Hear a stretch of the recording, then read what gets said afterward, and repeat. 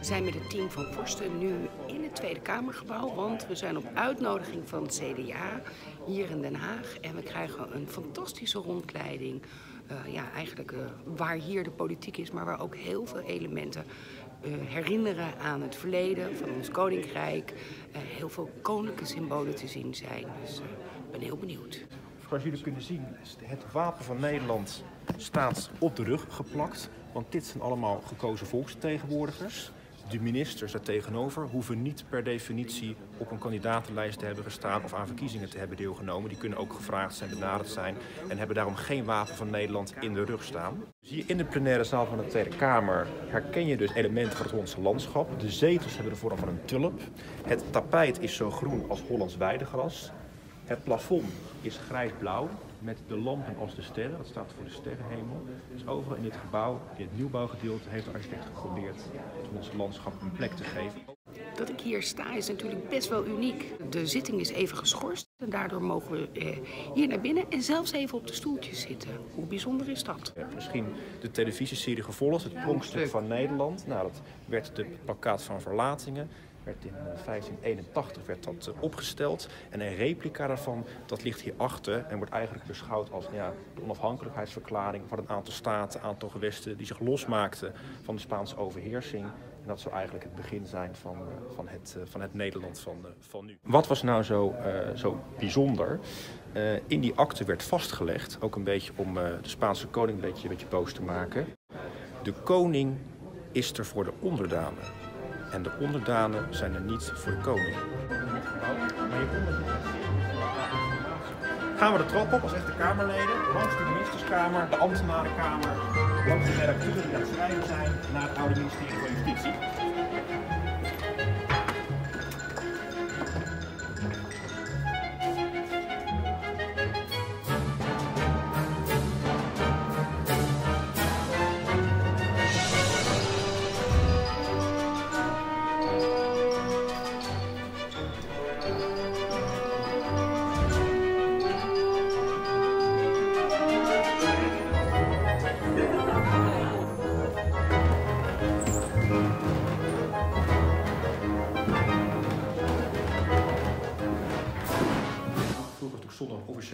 Waarop er niet gereisd mocht worden. En dan waren de maandag en de vrijdag gereserveerd om met paard en koets vanuit Maastricht naar Den Haag te reizen. Met een tussentop in Woerden, waar dan een herberg stond voor politiek personeel. En weer terug op vrijdag. En die traditie houden nog steeds een klein beetje in stand. Op maandag en vrijdag zijn we hier niet. Dan gaan de Kamerleden op werkbezoek, die zich inlezen, alle dossiers voor de komende week. En op de dinsdag, en donderdag vinden hier alle debatten plaats. De architect van dit oude gebouw, het oude ministerie van Justitie, was meneer Cornelis Peters, rijksbouwmeester eind 19e eeuw. ging over de overheidsgebouwen. Hij was een leerling van Pierre Kuipers, die kennen we hè, uit Roermond. We kennen het Rijksmuseum, het Centraal Station, de fontein hier aan het Binnenhof. Meneer Peters was stukken minder bekende dan zijn bekende leermeester. En om iets aan die onbekendheid te doen, liet hij zich daar afbeelden schetsend, ontwerpend aan dit gebouw, zodat iedereen die hier zou passeren zich hem zou herinneren. Door die poort, porte cochère op zijn Frans, kwamen de koetsen met de paarden, met de bezoekers voor het ministerie van Justitie de binnenplaats oprijden. Die konden hier stoppen, konden de passagiers uitstappen. De koets reed een rondje en reed weer weg door de poort over het plein verder Den Haag in. Hier konden vroeger de medewerkers, de ambtenaren hun handen wassen, ging het vuile water in de buiten naar de drinkbakken van de paarden die hier beneden stonden uit te rusten. Zo'nzelfde kaartje is ook nog op de begaande grond, maar dat is bedoeld om je laarzen te ontdoen van de paardenstront waarmee de hele binnenplaats toen bezaaid was. Dit is uh, ja, toch mijn, uh, mijn favoriete, favoriete kamer. Kinderen vragen vaak, Ernst, is Harry Potter hier opgenomen? Ik houd die mythe graag in stand, want je mag niks aanraken. Maar ik zeg verder niks. Kom even binnen. wel perkament is, hè? Ja, die verwacht je hier ah, dus van ja. de trap te zien komen. Ik zal even iedereen laten binnenkomen. Dit is een van eh, de 50 mooiste bibliotheken van de wereld. De oude bibliotheek van het ministerie van Justitie, wat hier omheen ligt. Er staan hier ongeveer 30.000 boeken. Ik wist jullie komen, ik heb nog even de tellen vannacht.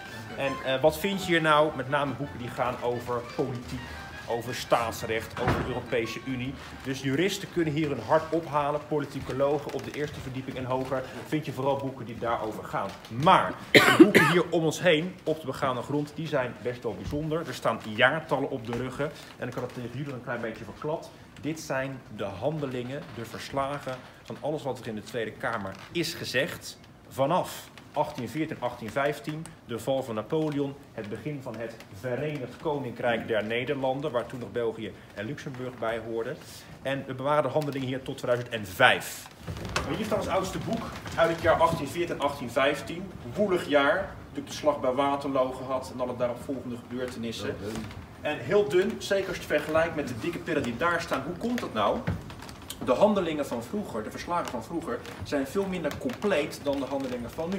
Stel, 100 jaar geleden waren u bij met elkaar in debat, het ging er heftig aan toe. En u zei van, goh voorzitter, het is flauwekul wat hij beweert. En dan werd het woord flauwekul werd niet opgeschreven. Dat was niet netjes. Dat werd in die tijd beschouwd als niet correct parlementair taalgebruik en dat werd weggelaten. Daar kwam een sterretje voor in de plaats, een zogenaamd lijk, een weglating. En iedereen wist dus van, hé, hey, er heeft iets gestaan wat niet netjes is geweest en dat is dus gestraft. Als verwijzing naar de Tweede Wereldoorlog, toen werd er niet geschreven. En uit die tijd zijn dus ook geen boeken bewaard gebleven. En dat plankje laten we tegenwoordig leeg. Om die reden als herinnering aan die periode.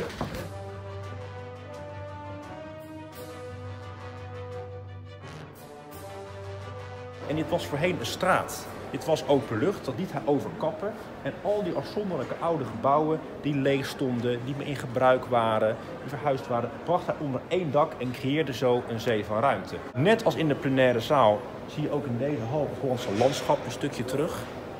Het dak heeft de vorm van het dak van kassen, waarin wij telen bloemen, groenten, fruit, exportproducten van Nederland. De lamellen hebben allemaal de vorm van regendruppels. En de vloer stelt ook iets voor, namelijk de kustlijn van Nederland. Wat wel leuk is, en ook voor jullie, in het midden van het plein een bekend standbeeld. Het is een Willem, Willem van Oranje. We kregen dat standbeeld cadeau van koning Willem II in 1848. Louis Royer heeft het gemaakt. En toen wij het beeld cadeau kregen, keek het naar ons toe. Later, ik meen de jaren 70 van de vorige eeuw, is een kwartslag gedraaid. En nu kijkt Willem naar Delft, waar hij ook om het leven is gekomen.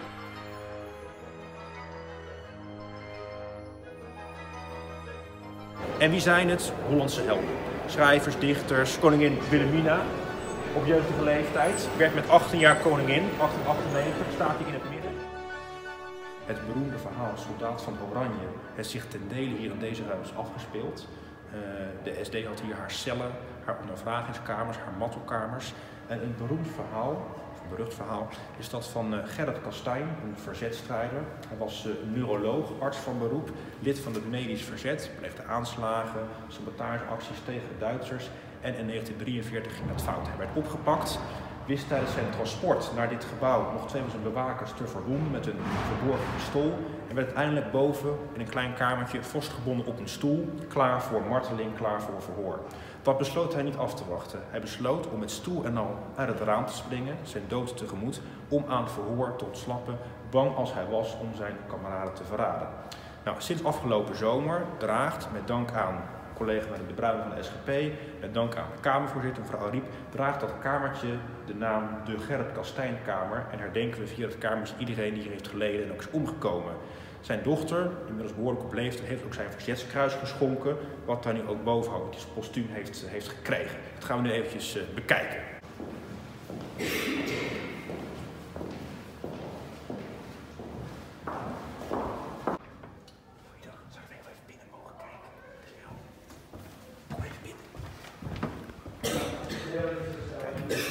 Hier wat die postuum heeft ontvangen. Hier zat hij dus. En hier zie je een stoel en dan uit het raam gesprongen, overleden. En hier zien we dus de oudste gebouwen van het Binnenhof, 1224, begin 13e eeuw.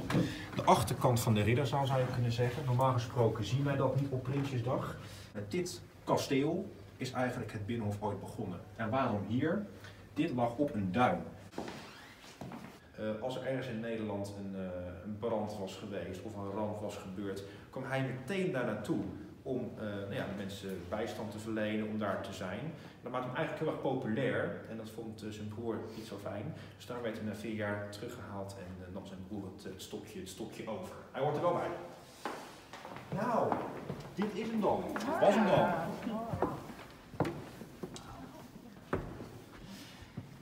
Hier heeft koningin Maxima, toenmalig nog prinses, de legendarische woorden uitgesproken volgens mij. Van, de, Nederlandse, identiteit, bestaat niet. Ja, dat, was hier Deze, dat was hier in deze ruimte. Gebouwd 18e eeuw, 1777 begon de bouw. Het was een cadeautje van onze laatste stadhouder, Willem V. Die liet deze zaal bouwen voor zijn dochter, die een aantal jaren later zou gaan trouwen. Die is hier ook getrouwd, er is hier gefeest, et cetera. Je zou kunnen zeggen van, nou ja, eigenlijk heeft de ruimte nu een beetje diezelfde bestemming weer teruggekregen. Er vinden hier diners plaats, presentaties, bijzondere evenementen. Maar tussen 1814, 1815 en 1992 vonden hier in deze ruimte alle grote debatten, vergaderingen en stemmingen plaats. Hierboven zat de pers en we hadden hier allemaal loges voor speciale gasten. Waaronder Wilhelmina en Juliana. Die kwamen nog wel eens spontaan op bezoek bij een vergadering in de Tweede Kamer. Niet vaak. Maar als ze hier waren, zaten ze daarboven, uiterst rechts. En keken ze via een spionnetje, een spiegeltje, naar wat hier beneden gebeurde. Dan konden zij wel zien wat er hier gebeurde, maar konden we hun gezichtsuitdrukking niet zien en daaruit mogelijk afleiden hoe ze ergens over dachten.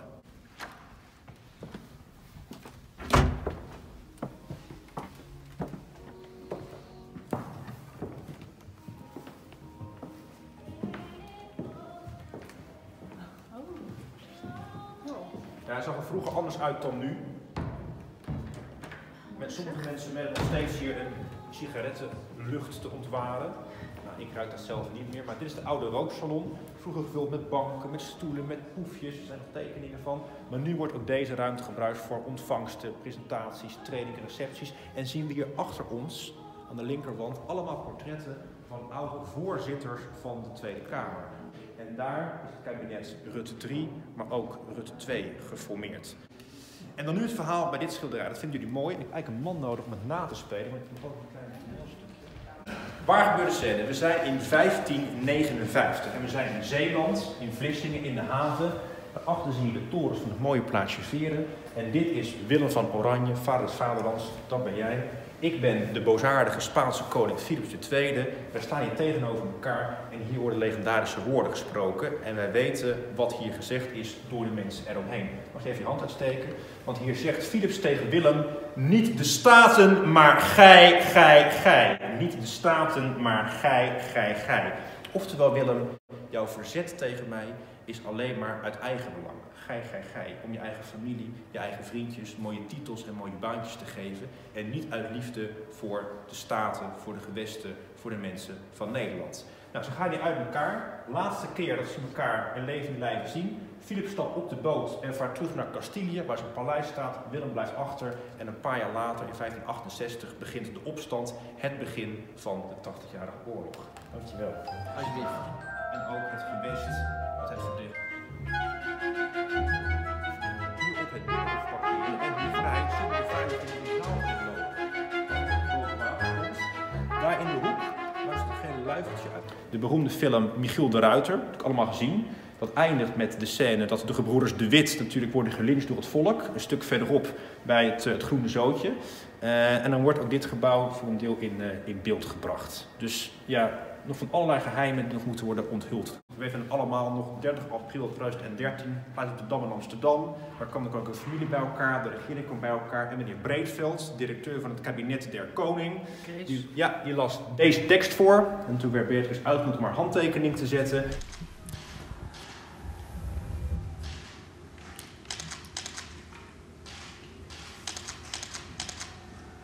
Zodra haar pen het papier had losgelaten, was zij meteen geen koningin meer. En werd haar oudste kind meteen haar opvolger. En hier... en hier zien we alle handtekeningen van alle getuigen die daar conform de wet bij aanwezig moeten zijn.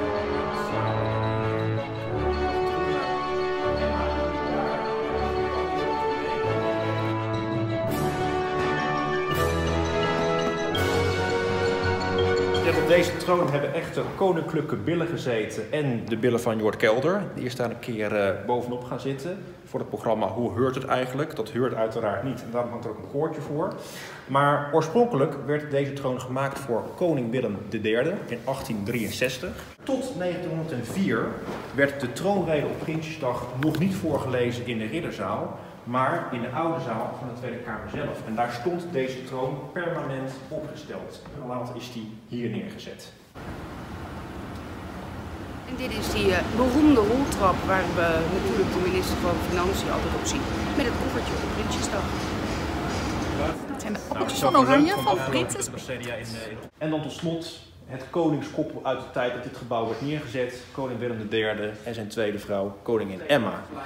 Gebouwd tussen 1876 en 18, 1883. De fractiekamer van het CDA. Wij hebben een geweldige dag gehad. Mede dankzij meesterverteller Ernst van Welij. Hij heeft beloofd binnenkort ook lezers van Forster rond te gaan leiden. Daarover meer binnenkort in Forster. Ja, jullie mogen in principe alles, vergeten wat ik vertel, behalve dit trappetje. Dit mogen jullie nooit meer vergeten. Want als je vanaf nu naar het journaal kijkt, naar Nieuwsuur kijkt, van mijn part naar Paulus kijkt, ga je dit trappetje, ga je altijd.